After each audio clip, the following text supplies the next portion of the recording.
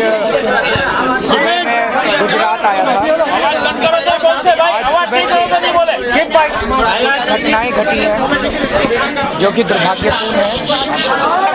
सबसे पहले, आज बिना किसी कारण के मोबाइल थोड़ा जब हमने 220 किलोमीटर गुजरात पुलिस ने बिना किसी कारण के मुझे डिटेन कर लिया। मोबाइल उसके थोड़ी देर के बाद वो डिटेंशन के उन्होंने अलग अलग कारण दिए, फिर छोड़ दिया। डिटेंशन के विरोध में आम आदमी पार्टी के कार्यकर्ताओं ने कुछ शहरों में प्रदर्शन किया और उसके बाद बीजेपी के कुछ कार्यकर्ताओं ने हमला किया और दोनों के बीच में झड़प हुई। और फिर जब मैं अभी आ रहा था तो रापरा में हमारी, मेरी गाड़ी के ऊपर कुछ लोगों ने अटैक किया और मेरी गाड़ी का शीशा तोड़ दिया। ये बहुत ही दुर्भाग्यपूर्ण घटनाएँ हैं। सबसे पहले तो मैं ये कहना चाहता हूँ कि मैंने पता किया अभी दिल्ली फ़ोन करके। हमारे जितने कार्यकर्ता हैं उनका कहना है कि वो शांतिपूर्ण तरीके से प्रोटेस्ट कर रहे थे। लेकिन आ, मुझे ये भी पता चला कि शायद जब बीजेपी के दफ्तर से कुछ पत्थर फेंके गए। तो आ, उस टाइम उत्तेजित होके हमारे कार्यकर्ताओं ने शायद दो तीन पत्थर वापस फेंके। मुझे लगता है ये ठीक नहीं है। आम आदमी पार्टी के कार्यकर्ताओं को तो ऐसा नहीं करना चाहिए। और आम आदमी पार्टी के कार्यकर्ताओं की तरफ़ से इस तरह की जो भी गलती हुई है उसके लिए मैं माफ़ी माँगता हूँ। दूसरी चीज़ हमारे कई कार्यकर्ता ऐसे हैं जो कि बहुत बुरी तरह से ज़ख्मी हुए हैं। मैं भगवान से प्रार्थना करता हूँ कि उनको जल्दी वो स्वस्थ हों, वो खुश रहें और जल्दी अस्पताल से वापस लौटकर फिर से देश के काम में लगें। मुझे आज डिटेन ही तो किया था पुलिस ने। मैं कार्यकर्ताओं से अनुरोध करना चाहता हूँ। मैं अपने आप को बड़ा सौभाग्यशाली मानता हूँ कि आप सब लोग मुझे इतना प्यार इतना प्यार करते हैं। लेकिन केवल डिटेन करने से हमें इस तरह से अभी प्रोटेस्ट नहीं करना चाहिए।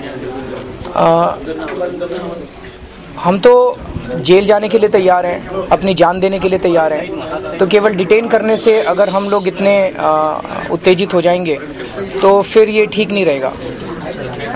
इसीलिए मुद्दा भटक जाएगा। जो असली मुद्दा है, वो भटक जाएगा अगर इस तरह की चारों तरफ़ वायलेंस फैल जाएगी तो। हमें किसी भी तरह से उत्तेजित नहीं होना है। दूसरी चीज़, मेरी जान की परवाह मत कीजिए। मैं ठीक हूँ और मैं ठीक रहूँगा, क्योंकि सच्चाई के रास्ते पे चल रहे हैं। भगवान हमारे साथ है। भगवान हमारी रक्षा कर रहा है। तो मेरे को डिटेन करते ही आप लोग इस तरह से प्लीज़ मेरी, आप सब लोगों से रिक्वेस्ट है। अभी भी खबर आ रही है कि कहीं अलग अलग शहरों में कुछ जगह प्रोटेस्ट करने की तैयारी। कल से कोई प्रोटेस्ट नहीं करेगा। हमें नहीं प्रोटेस्ट करना।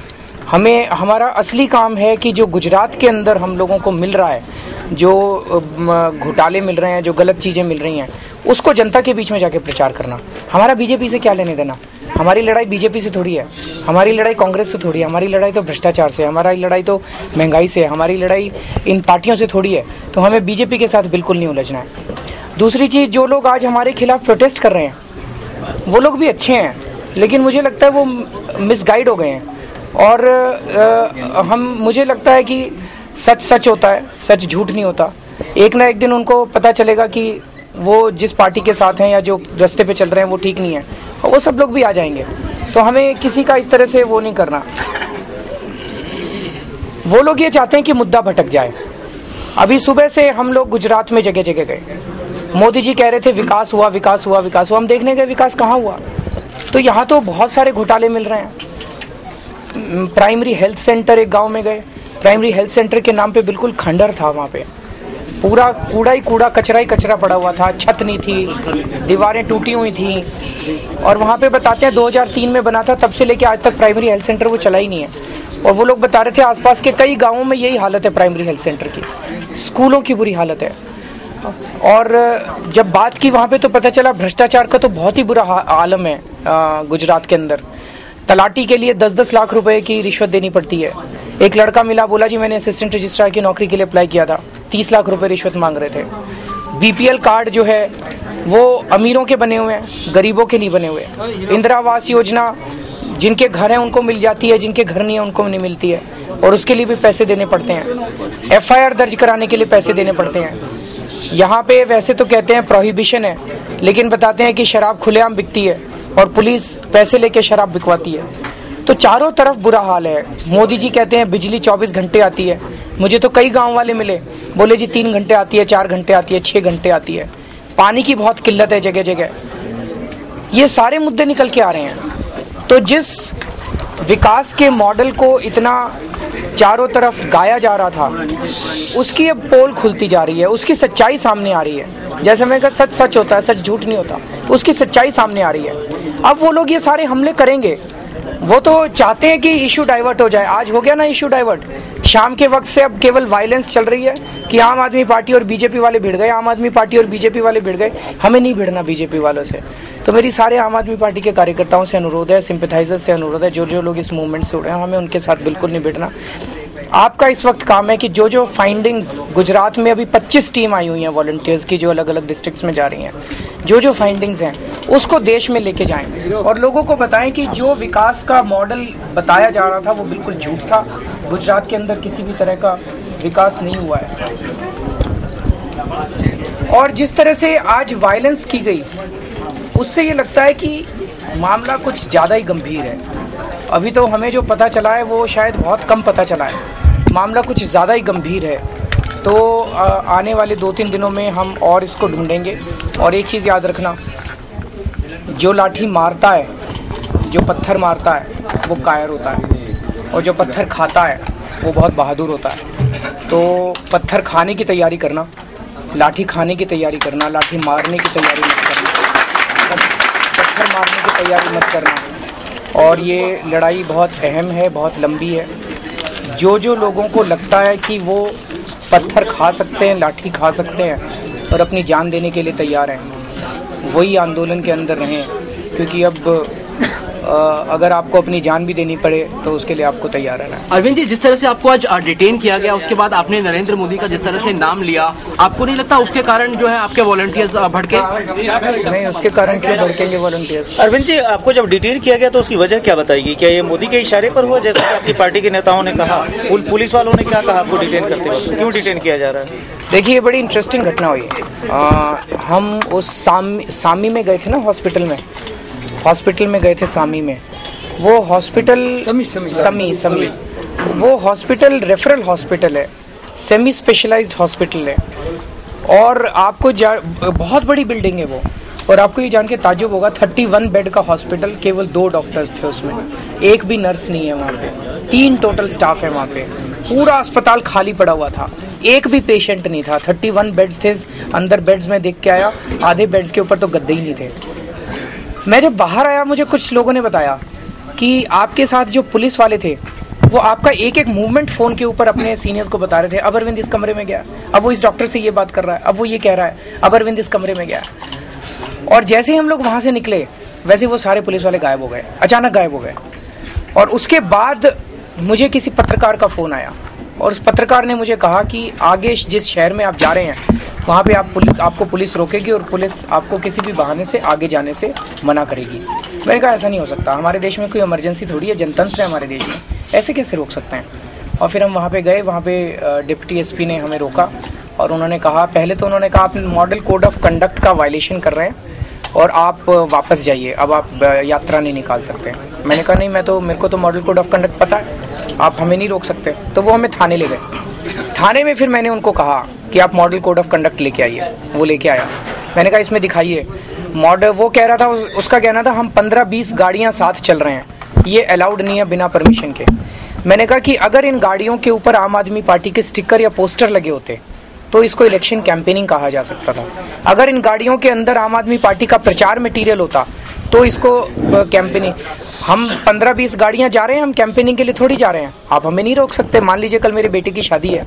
शादी का पूरा काफिला जाता है, इतनी गाड़ियाँ जाती हैं। आप क्या कहेंगे कि शादी के पहले पुलिस परमिशन लेनी पड़ेगी? तो मैंने कहा, आप नहीं रोक सकते। फिर उसके बाद कहता है अच्छा आप ट्रैफ़िक वायलेशन कर रहे थे। इसका मतलब उसका मॉडल कोड ऑफ़ कंडक्ट वाला तो एक्सक्यूज बेकार था।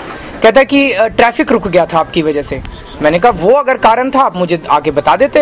हम अपनी गाड़ी वहाँ से चला देते हम आगे बढ़ जाते अगर ट्रैफ़िक रुक गया था। मैं ट्रैफ़िक को बिल्कुल नहीं रोकूँगा। मैं लोगों को असुविधा नहीं पहुंचाना चाहता। उसके बाद उन्होंने हमें छोड़ दिया। अरविंद जी आपने कहा कि गाँव में बिजली नहीं है तीन चार घंटे बिजली मिलती है। ऐसे कुछ स्पेसिफिक गाँव क्योंकि मोदी क्लेम करते हैं कि सभी गाँव में 24 घंटे बिजली मिलती है। जिन गाँव में मैं आपको नाम बता दूँगा मैंने लिखे हुए हैं नाम। अ, मेरे पास कई सारे लोग आए थे। दो तरह का है। एक है घर की बिजली और एक है इरिगेशन के लिए लोगों को जो बिजली चाहिए। इरिगेशन के लिए बिजली तो शायद कहीं नहीं मिल रही है। अ, जो सबसे पहले गाँव में गए थे उन्होंने कहा आठ घंटे आती है। एक हफ़्ता दिन में आती है और एक हफ़्ता शाम को आती है। लेकिन उसके बाद जब हम डिटेंशन के बाद जब निकले वहाँ से उसके बाद जिस गाँव में गए थे उस गाँव के लोगों ने कहा जहाँ पीएचसी का सेंटर था उस गाँव का क्या नाम है? पीएचसी का जो सेंटर हम लोगों ने देखा था उस गाँव के लोगों ने कहा जी तीन घंटे बिजली आती है। मैंने कहा ठीक से बताओ घर की बिजली भी तीन घंटे आती है? बोले हाँ जी घर की बिजली भी तीन घंटे आती है। अरविंद जी अब आपका क्या कार्यक्रम है? आज जिस तरह की घटनाएँ हुई हैं जिस तरह हम आगे बढ़ेंगे हम आगे बढ़ेंगे लेकिन मैं फिर से यही कहना चाहता हूँ कि हिंसा देश की समस्याओं का समाधान नहीं है। हमें हिंसा नहीं करनी है। ये बड़ा दुखदाई है जो भी आज शाम को हुआ है। आपको भी लगता है कि मोदी आपकी यात्रा से घबरा गए जैसा आपकी पार्टी के कुछ नेताओं ने कहा। देखिए जो कुछ एक साल से प्रोपगेंडा चलाया जा रहा था विकास हुआ विकास हुआ विकास हुआ और ये विकास का मॉडल टाउट किया जा रहा था आज वो सारी पोल पट्टी खुल रही है धीरे धीरे तो नेचुरली थोड़ी नर्वसनेस तो है उन लोगों के दिमाग में। थैंक यू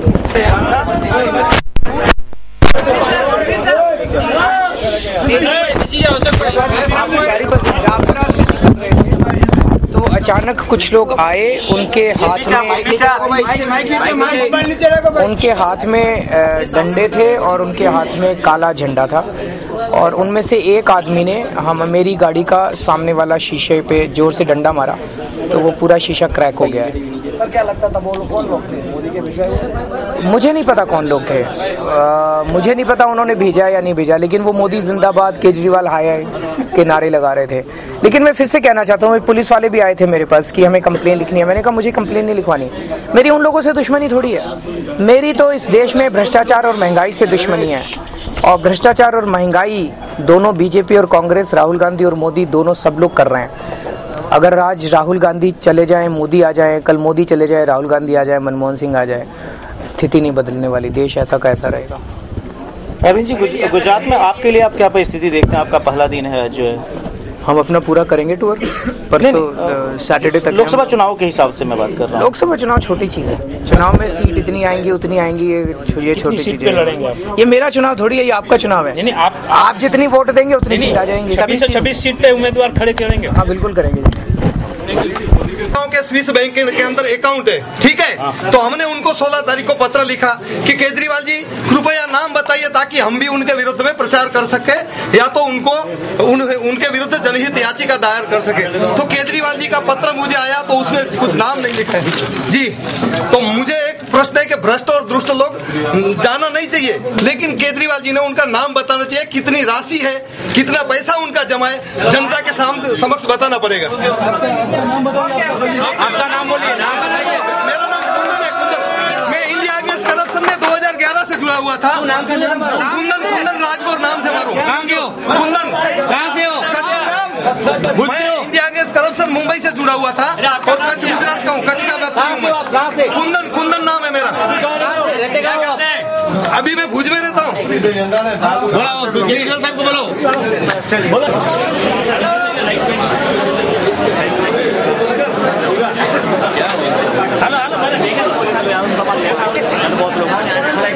पाठवून Gracias.